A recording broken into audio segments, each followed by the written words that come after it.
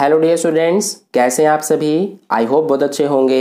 इस वीडियो में हम मैथ्स का चैप्टर नंबर पंद्रह से उदाहरण एक और दो को सॉल्व करेंगे। तो देखिए, उदाहरण एक में हमसे क्या कहा गया है?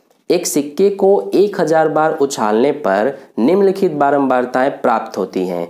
चित 455 बार, पट 545 बार। प्रत्येक घटना की प्रायिकता अभिकलित कीजिए। तो देखिए, इसका सोल्यूशन कैसे करेंगे हम? हमसे क्वेश्चन में कहा गया है कि एक सिक्के को एक हज़ार बार उछाला गया, ठीक है? तो जिसमें से 455 बार ऐसा हुआ कि चित आया। चित को हम इंग्लिश में हेड कहते हैं, ठीक है? और 545 बार ऐसा हुआ कि पट आया, यानी कि इसको इंग्लिश में हम टेल कहते हैं। तो हमें इन दोनों घटना की, यानी इन दोनों इवेंट्स की प्रायिकता बतानी है प्रोबेबिलिटी तो देखिए, ये हम कैसे बताएँगे? सबसे पहले ध्यान दीजिए कि जो हमारा प्रायिकता का सूत्र होता है, उसको लिख लेते हैं। यहाँ पर P यानी कि प्रोबेबिलिटी और ये E यानी कि इवेंट यानी कि प्रोबेबिलिटी ऑफ़ इवेंट यानी घटना की प्रायिकता। तो इसका सूत्र होता है हमारा, ऊपर हम लिखते हैं अनुकूल परिणामों की संख्या और बटे में हम लिखते हैं कुल परिणामों की संख्या। वैसे तो आपकी बुक में थोड़ा बड़ा सा इसका सूत्र दिया हुआ है, लेकिन मैं आपको इससे आसान करके और फिर समझा रहा हूँ। ठीक है?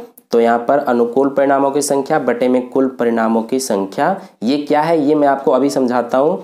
तो देखिए, सबसे पहले हम क्या करते हैं? अनुकूल परिणामों की संख्या का मतलब है कि जो आपसे क्वेश्चन में पूछा गया है, यानी जिसकी आपको प्रायिकता निकालनी है तो उसे आपको अनुकूल परिणामों की संख्या की जगह पर लिखना है। ठीक है?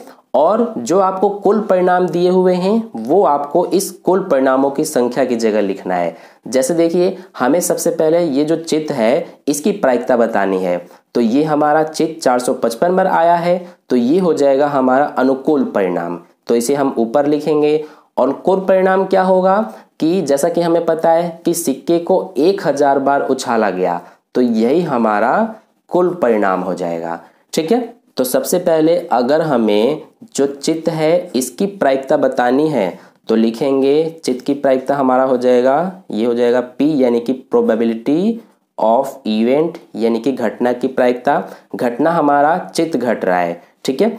तो इसीलिए सबसे पहले अनुकूल परिणामों की संख्या है तो ये हमारा अनुकूल परिणाम 455 है तो इसे हम ऊपर लिखेंगे और बटे में लिखेंगे कुल परिणाम। तो ये एक हज़ार है तो ये हो जाएगा एक हज़ार। अब ये हमारा कट रहा है तो इसको हम आगे काटेंगे, ठीक है? ये हमारा पाँच के पहाड़े से कट रहे हैं दोनों, ये हो जाएगा पाँच के पहाड़े से पाँच नवा पैंतालीस, पाँच एकम पाँच, और ये हमारा पाँच के पहाड़े से दो सौ बार में, ठीक है? तो आप चाहे तो यहीं पर अपना आंसर छोड़ सकते हैं फ्रैक्शन में, यानी कि भिन्न में। या फिर आप चाहें तो इसको आगे पॉइंट में भी लिख सकते हैं आंसर जब आप इसमें भाग करेंगे तो आपका आंसर आएगा ज़ीरो पॉइंट चार सौ पचपन. तो आप चाहे तो यहीं पर अपना आंसर छोड़ दीजिए या फिर आगे इस तरह से भी करेंगे तो भी आपका आंसर सही है. ठीक है? तो ये हो गया हमारा जो चित्त है, इसकी प्रायिकता. अब हम बताएँगे कि जो पट है, उसकी प्रायिकता क्या होगी? तो लिखेंगे पट की प्रायिकता, यानी कि प्रोबेबिलिटी ऑफ़ इवेंट तो इसमें हमारा देखिए, सबसे पहले अनुकूल परिणामों की संख्या है। आपको ये बात हमेशा ध्यान रखना है कि जो हमारा प्रायिकता चैप्टर है, इसमें सिर्फ़ यही एक फॉर्मूला काम आता है, ठीक है? इसी को आपको याद रखना है। अनुकूल परिणामों की संख्या बटे में कुल परिणामों की संख्या। तो इसी से आपका सारे क्वेश्चन सॉल्व होंगे। तो देखिए, पट हमारा कितनी बार है? 545 बार। तो ये क्या हो जाएगा? अनुकूल परिणाम, क्योंकि इस बार हम जो हमारी प्रायिकता है, वो पट की बता रहे हैं, इसीलिए ये अनुकूल परिणाम बन जाएगा। तो इसे हम पहले लिखेंगे 545 बटे में क्या है? कुल परिणाम। तो कुल परिणाम हमारा सेम रहता है। देखिए, एक हज़ार है तो इसी को लिखेंगे एक हज़ार। ठीक है? अब इसके बाद ये भी हमारा कट जाएगा यहाँ पर। तो अब देखिए, इन दोनों में भी हम, ये हमारे पाँच के पहाड़ से कटेंगे, ये 109 बार में और ये पाँच के पहाड़े से 200 बार में। तो इसको भी आप चाहे तो यहीं पर अपना आंसर छोड़ सकते हैं या फिर जब आप इसे पॉइंट में चेंज करेंगे तो ये आएगा ज़ीरो पॉइंट पाँच सौ पैंतालीस। ठीक है? तो ये हमारे दोनों प्रायिकता हैं। ये हमारा है चित्त की प्रायिकता यानी कि हेड की और यह है पट की प्रायिकता। अब देखिए मैं आपको एक इंपॉर्टेंट चीज़ समझाता हूँ। जो हमारा प्रायिकता होता है वो हमेशा ज़ीरो से लेकर एक तक होता है। ठीक है? यानी कि प्रायिकता ना ही तो कभी ज़ीरो से कम, यानी कि ना ही तो कभी माइनस में होता है और ना ही एक से ज़्यादा होता है, ठीक है? ये बात आपको हमेशा ध्यान रखना है कि हमेशा हमारा प्रायिकता ज़ीरो से लेकर एक तक ही होता है। अब देखिए, यहाँ पर जितने भी हमारे, हमने ये प्रायिकता बताया है, ये दोनों, अगर हम इनको जोड़ेंगे तो हमेशा हमारा एक आता है। ठीक है? यानी कि हम ये कह सकते हैं कि घटना घटने की प्रायिकता और घटना न घटने की प्रायिकता, उन सभी का योग हमेशा एक बनता है। यहाँ पर देखिए, दो घटना घट रही हैं, यानी कि दो यहाँ पर हमने प्रायिकता बताया है।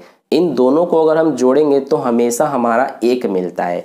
देखिए, ज़ीरो पॉइंट चार सौ पचपन और ज़ीरो पॉइंट पाँच सौ पैंतालीस, दोनों को जोड़ते हैं तो ये हमारा एक बन जाता है। ठीक है? एक पॉइंट ज़ीरो ज़ीरो ज़ीरो का मतलब है एक। तो ये बात हमेशा आपको ध्यान रखना है कि जितने भी हमारी प्रायिकता हैं, यहाँ पर देखिए, दो यहाँ पर हमारे प्रायिकता बताए हैं हमने। तो यहाँ पर ये दोनों हमारे हो जाएँगे घटना की प्रायिकता तो इसीलिए इनको जोड़ने पर एक आ जाएगा। ठीक है? अगर एक नहीं आ रहा है तो कहीं पे कुछ मिस्टेक है। तो इस तरह से हमारा जो उदाहरण एक है, उसका सोल्यूशन कंप्लीट हो गया। अब चलिए उदाहरण दो को सॉल्व करते हैं। तो देखिए, उदाहरण दो में हमसे क्या कहा गया है? दो सिक्कों को एक साथ 500 बार उछालने पर हमें यह प्राप्त होता है। दो चित 105 बार, एक चित 275 बार, कोई भी चित नहीं 120 बार। इनमें से प्रत्येक घटना के घटने की प्रायिकता ज्ञात कीजिए। तो देखिए डियर स्टूडेंट्स इसका सॉल्यूशन कैसे करेंगे हम? इस क्वेश्चन में हमसे कहा गया है कि दो सिक्के हैं, ठीक है? उन दोनों सिक्कों को एक साथ उछाला जाता है 500 बार।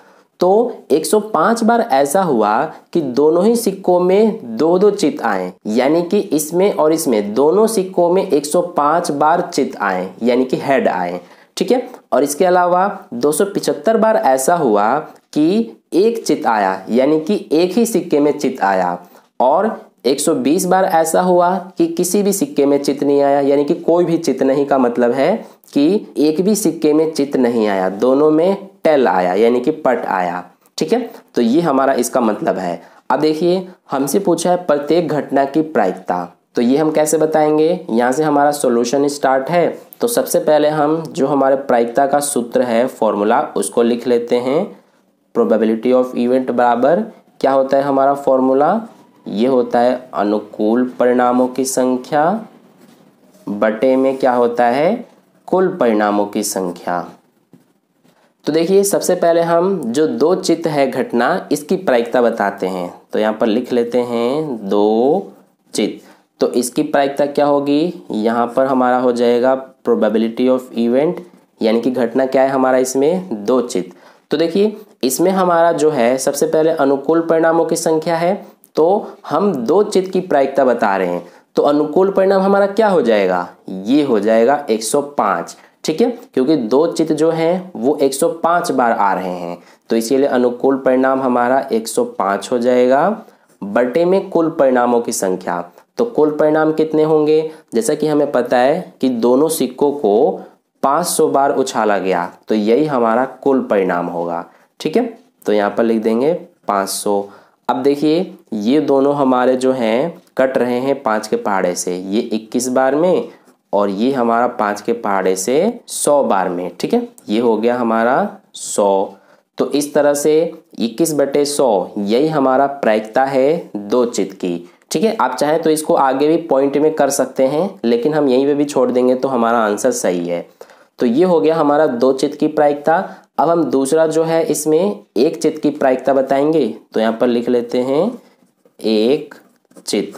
तो इस बार हमारा क्या होगा कि जो अनुकूल परिणाम होगा, वो दो हो जाएगा।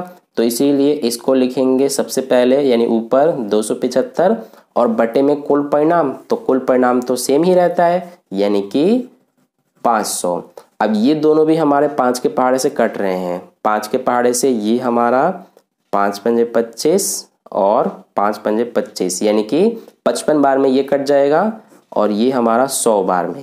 तो पचपन बटे सौ, ये आगे भी कट रहा है हमारा। देखिए, ये हो जाएगा पाँच के पहाड़े से ग्यारह बार में, यानी ग्यारह पंजे पचपन, ये बीस पंजे सौ। तो ग्यारह बटे बीस आ जाएगा, ठीक है? तो ये हमारा ग्यारह बटे बीस, जो एक चित है, उसकी प्रायिकता है। इसी तरह से नेक्स्ट हमारा है कोई भी चित्र नहीं तो इसकी भी प्रायिकता अब हम यहाँ पर बताएँगे। तो लिखेंगे कोई भी चित्त नहीं। तो देखिए, इसकी प्रायिकता क्या हो जाएगी हमारी? यहाँ पर लिख लेते हैं, जो कोई भी चित्र नहीं है, यानी कि दोनों सिक्कों में से किसी में भी चित्र नहीं आया तो ऐसा 120 बार हुआ। इसीलिए इसमें हमारा अनुकूल परिणाम 120 हो जाएगा। तो यहाँ पर हम लिखेंगे 120 बटे में कुल परिणाम तो वही रहेगा, यानी कि 500 अब ये दोनों हमारे कटेंगे। ये देखिए, ज़ीरो से ज़ीरो कट जाएगा बारह बटे पचास बचा तो ये दोनों हमारे दो के पहाड़े से कट जाएँगे। ये हमारा दो छिक बारह और ये दो के पहाड़े से पच्चीस बार में। तो छः बटे पच्चीस, यही हमारा कोई भी चित्र नहीं, इसकी प्रायिकता है। ठीक है? तो ये हमारे तीनों यहाँ पर आंसर हैं। यानी अब देखिए, इसमें हमारा क्या है कि अगर आप इन तीनों को जोड़ेंगे 21 बटे सौ, ग्यारह बटे बीस और 6 बटे पच्चीस तो इन तीनों को जोड़ने पर आपका आंसर एक बनेगा, ठीक है? आप चेक भी कर सकते हैं। तो इस तरह से हमारा जो उदाहरण एक और दो का सोल्यूशन है, ये कंप्लीट हो गया। आई होप आपको अच्छे समझ में आ गया है। अगर आपको वीडियो अच्छा लगा है तो वीडियो को लाइक कर देना, अपने दोस्तों के साथ भी शेयर कर देना। और अगर आप चैनल पर नए आए हैं तो चैनल को सब्सक्राइब करके बगल में जो बेल आइकन आता है, उस पर ऑल नोटिफिकेशन पे क्लिक कर लेना, ताकि नेक्स्ट वीडियो जैसे ही अपलोड की जाए, उसका नोटिफिकेशन सबसे पहले आपको मिल जाए। मिलता है फिर नेक्स्ट क्वेश्चन के लिए नेक्स्ट वीडियो में। धन्यवाद।